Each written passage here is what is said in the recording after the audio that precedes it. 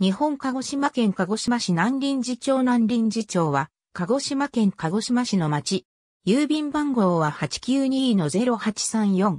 人口は2545人。世帯数は1615世帯。1963年より南林寺町の全域で住居表示を実施している。鹿児島市の中央部、高月川下流域に位置している。町域の北方には松原町、南方及び東方には城南町、西方には新屋敷町、高月町がそれぞれ接している。町域の中央を国道225号、東端を鹿児島県道216号鹿児島港城南線がそれぞれ南北に通っており、パース通りが北端を東西に通っている。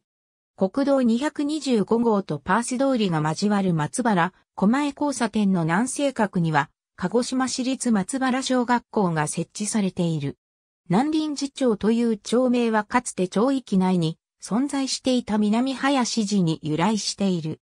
南林寺町はかつて南林寺の墓地であり、鹿児島市では最大の墓地であった。町が設置されるまではこの一帯は南林寺墓地あるいは寺の馬場2と呼ばれていた。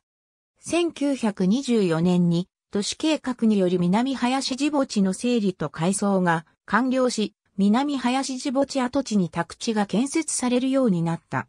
同年、松原町の一部から分割され、鹿児島市の町、南林寺町として設置された。1962年に住居表示に関する法律が施行されたのに伴い、鹿児島市は鹿児島市街地域の住居表示に着手した。1963年9月11日に、城南地区で住居表示の実施に伴う町域の再編が実施され、須崎町の一部を南林寺町に編入し、同時に南林寺町の一部が千日町及び松原町に編入された。また、同年に南林寺町の全域で住居表示が実施された。以下の表は国勢調査による小地域集計が開始された1995年以降の人口の推移である。